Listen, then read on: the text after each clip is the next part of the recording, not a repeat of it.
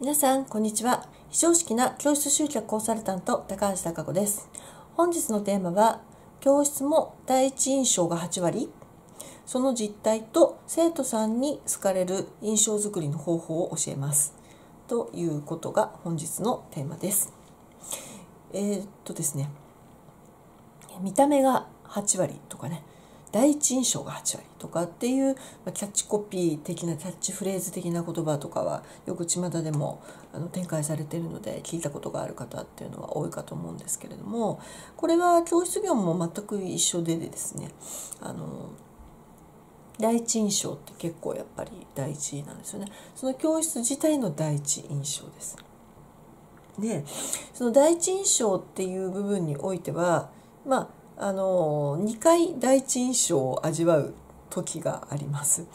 1回目はウェブ上です。ここがここが本当にファーストインプレッションにおそらくなります。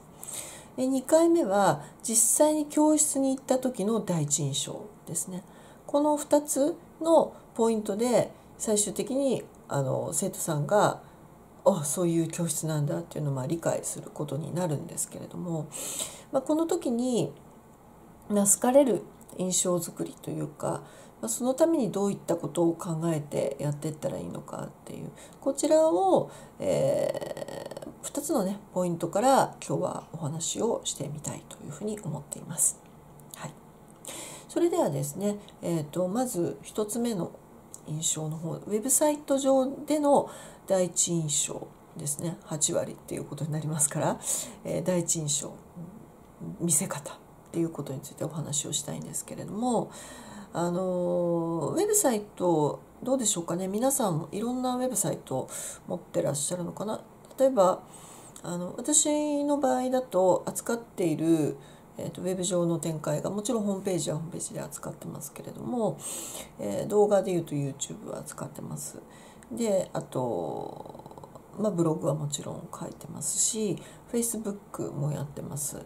で、えーと、インスタグラムはまあ写真をねちょいちょい載せる程度でやってるんでものすごく集客で使ってるわけじゃないんですけれども LINE アット LINE, LINE か LINE アットじゃなくて LINE ですね LINE 公式アカウント LINE とあとはメルマガとかまあ1個の授業で大体7媒体から8媒体ぐらい使っていたりとかしているんですね。でまあもちろんどこが入り口になって私を知っても構わないんですけれどもその後本とかも出してますので本が入り口になるケースとかがあるんですが一応こう私のメインで私という人間を 見てもらうための、まあ、一番の場所っていうのが、まあ、ホームページを一番分かってもらいやすい場所にはしているんですね。ただどこからあの皆さんが私という人間に触れていくのかその方があのよく見る媒体によるので YouTube をよく見る人は YouTube から私を多分知ることになるんでしょうしアメブロとかを見る方はアメブロから私を知ることになるんでしょうし検索ではあの何かキーワードとかで探して私を探す場合にはそこから私を知ることがあると思うんですけどちなみにですね、まあ、ウェブ上の計測っていうのはどのキーワードで自分のウェブサイトに人が流入してきてるかっていうキーワードの特性とかを見ることもできるんですけれども、えー、と私はあのコンサル業をやって4年くらいになるんですが私のサイトに訪れる一番上のキーワードって高橋貴子なんですよ。ということは高橋貴子を何かしらで見ているか名前を知っている状態でこの人は一体どんな人っていうことで高橋拓子で検索をおそらくかけているので、まあ、ある意味指名検索っていうことになるんですけれどもあのそのコンサルタントとか経営コンサルタントっていうキーワードで探す、まあ、下で下の方で探されているところはあるんですけど上はね高橋貴子で探されてるんですよ。だから何かしらで私を知っている。出会っている。アナログで出会っていて高橋さんって何やってんのって改めて見たいとかっていうことなのかもしれませんしね、まあ、いろんなとこ出没してるので、まあ、そういう可能性は多いかもしれないんですけれども。高橋貴子っていうもので検索されてます。でその人がまあ訪れた時にまあ一番最初に見るところがウェブサイトのトップページのまあ、バナーと言われている部分なんですけれどもそこでまず第一印象が決まります。で私の場合にはヘッダーは大概半年から長くても1年に1回は大掛かりに変えていってるので今のヘッダーは今の私が思って設置しているものなんですけどまたこれも時期が来たらまた変えたりとかする予定はあるんですが私のキーワードがま非常識なっていう飛ぶ常識と書いて非常識というふうに言うんですけれどもその非常識なコンサルタントっていうことが表現できるようなまあヘッダーとかにはしているんですね。まあ、それはあの私という人間に興味があってくるような人が多いっていうのを分かっているので私ってこういう人間ですよっていうのを答えるようにサイトを作ってるわけなんですが、まあ、実験的に今度作ってみようかなと思っているのは、まあ、私のクライアントさんとかもあの長くいらっしゃる方が多くて成果を出してる方が多いのであのそちらの人をにフォーカスした別のウェブサイトちょっと一個作ってみようかなっていうのはちょっと思っているんですよね。どちらの方がよりあこの人にお願いしてみようっていうことになるのかなっていうのをちょっと実験で試したいなっていうふうに思っているので、まあ、それをちょっとまたあの別でウェブサイト作ってみようかなと思ってるんですけれどもどのみち私は何を考えてるかっていうと第一印象なんですよねその訪れた人があこの人にお願いしてみようみたいに思ってもらえるまず第一印象ファーストインプレッションですね、まあ、それを考えてヘッダーとか、えー、一番最初のトップページの大きい写真を考えて作っています。で教室業においても私たくさん、あのー、ホームページの診断とかをするんですけれどもパン教室ならパン教室お菓子教室ならお菓子教室とかお料理ならお料理とか、まあ、雑貨とかいろいろあるんですけれどもたくさんあるんですけれどもあのそのウェブサイトに行った時にですねまず何の教室か分かるっていうのがまあまあまず第一なんですよね。でその何の教室か分かることと同時にあとそのどういった専門教室でえー、その来る生徒さんはどんな自分になれるのかみたいなその辺りがこう分かりやすいようにトップページにこうパーンと出ているような教室の方がやっぱり第一印象8割なんで、まあ、まず第一難関として、あの行きたいなと思うか行きたくないと思うかっていうそこの大きな分かれ目になるところなんですよね。ですからあのよくですね長くやってる先生は基礎の先生とかも先生のブログとかを楽しみにしてしまう方が多いのであいいんですよ。それはすごそれでいいんですけどその見てくれてる既存の生徒さん向けにトップページも作ってしまう先生とかがいらっしゃるんですけど既存の方はブログを読んだりとかあの違う部分のページを見るのがメインで訪れてるわけなのでトップページはその方たちに訴えるために作るのじゃなくて初めて訪問した方がどういうふうに見えるかっていうことを中心に作るのがトップページ。になりますのでそこを理解しないで作っちゃうと内訳っぽいようなページになっちゃってる時とかがたまにあったりとか。するんですよね。ですからあのトップページに関してはあくまでも新しく来る人とかがそれを見た時にどう思うかっていうこのファーストインプレッション第一印象ですね。これを中心に写真も文章もページ構成も作っていくっていうのがいいんじゃないかなっていうふうに思います。で当然その上では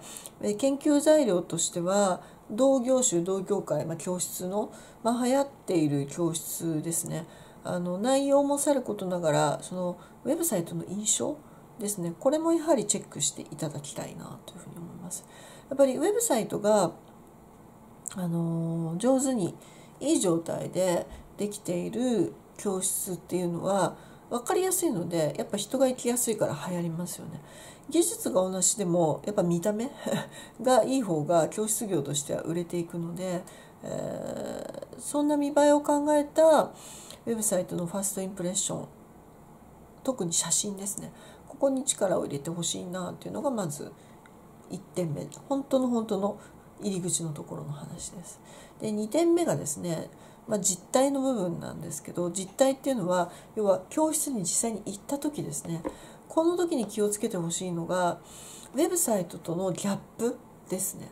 あのウェブサイトがものすごく素敵すぎる状態で理解されてると教室に行った時に例えばお部屋の生活感がものすごくあったりとか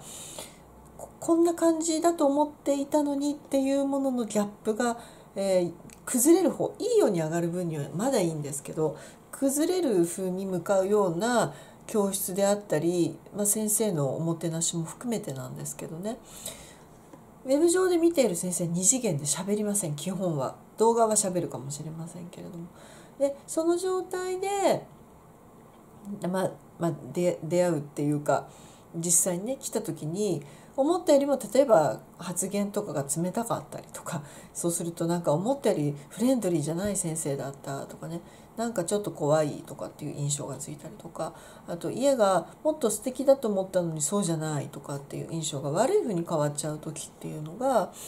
あの非常にマイナスになるので、えー、予約が入ったから終わりなのではなくてまあ来ていただいて2回目3回目、まあ、コースレッスンとかもそうなんですけど定着するっていうことの方が大事なので基本気は抜けないですよねやはりあの接客業っていう観点から考えると。ですので、あの来ていただいた方にどのように満足をしてってこのリアルの体験もきちんとフォローアップをしていくっていうことが必要で特に注意しなくちゃいけないのがウェブサイトとのギャップです。ですからあの勝手にあまりにも素敵すぎる状態を想像させすぎないようにですねあの適度にですね、まあ、動画とかでいいんですけど、まあ、生徒さんが着ている絵でついでに室内もちょっとパラパラっと写っとくとかですねそういう状態で想像させておく方がいいですね。まあ、一番いいのは生徒さんが楽しくねやってるレッスン風景そのまんまっていうのが一番楽しいんですあ一番分かりやすくていいんですけれどもあのよく私が人気がないサイトですねっていうふうによく言う方いらっしゃる。要は出来上がる作品がものすごく素敵なんですよ。まあ、お菓子とかの先生とか特に多いんですけど素敵なんですよ。まるで売っているかのようなお菓子。そうすると見る側っていうのはそのお菓子から勝手にその先生の家とかを想像してしまうんですよね中とかあと教室の雰囲気とかそうするとそうじゃない場合にすごい残念なギャップの方に向かってしまうので